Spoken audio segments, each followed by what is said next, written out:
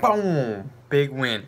Big win versus Nashville yesterday. I'm doing this video a, a day late. Uh, I was in Virginia yesterday. Uh, actually a very, very cool story, but I'm not going to get into it while I was in Virginia. Not at least in this video, because this video we're going to talk about the Rangers and what they did good. Because they did a lot good um, yes, yesterday afternoon. I mean, their perimeter control defensively and offensively was ridiculously good. We really did a great job of controlling the perimeter. And that's huge in a hockey game, huge. Kevin Hayes, I mean, he looked absurdly good. That goal he scored, come on. And I knew, I said it to my brother before the game. Vesey is getting a goal this game. I didn't, I didn't think he was going to get a point, uh, an assist to go with it.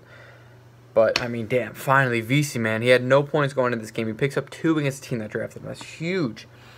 Um, I, I, there's nothing I could see in that game that I would even want to complain about because they looked good. They put everything together. Um, perhaps for a couple times we had a little defensive hiccups.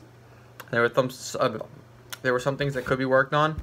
Getting DeAngelo more ice time. Seeing Buchnevich, but it is what it is. A win is a win. Uh, I'm not going to make this long. I'm just going to say, listen, it was a good game.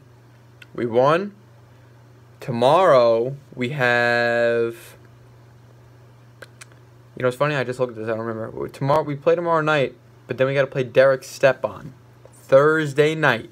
Stepan returns to the Garden, baby. Uh, I I really wish I remember who we play tomorrow. I forgot who it was. Anyway, we play tomorrow at seven, and I will see you guys then. I said short and sweet. We won. Nothing bad to say. See you guys in the next one. Peace.